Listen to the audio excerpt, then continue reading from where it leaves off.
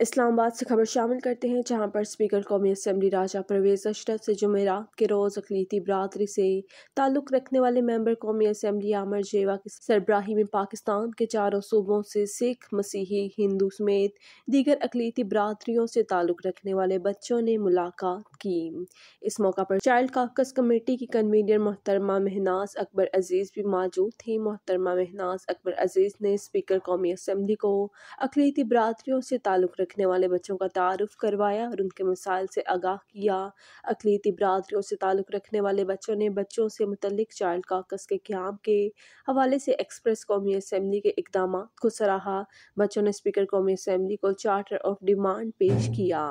Speaker कौमी assembly ने बच्चों के तासरात को सराहते हुए कहा कि अकलीती बरदरीों से ताल्लुक़ रखने वाले बच्चे हमारे बच्चे हैं। उन्होंने कहा है कि पाकिस्तान में बसने वाले तमाम लोग बराबर के शहरी हैं। उन्होंने कहा है कि इस बात में कोई शक नहीं कि इस वक्त मुल्क दुश्मन अनासर मज़हब की आड़ में हमारे दरमियान नफ़रतें पैदा करना चाहते हैं।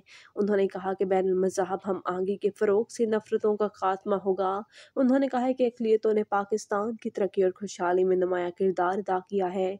उन्होंने कहा है कि ये मुल्क खुदादाद हम सब का है और इसकी तरक्की और खुशहाली हम सब की मुश्तर ज़िम्मेदारी है।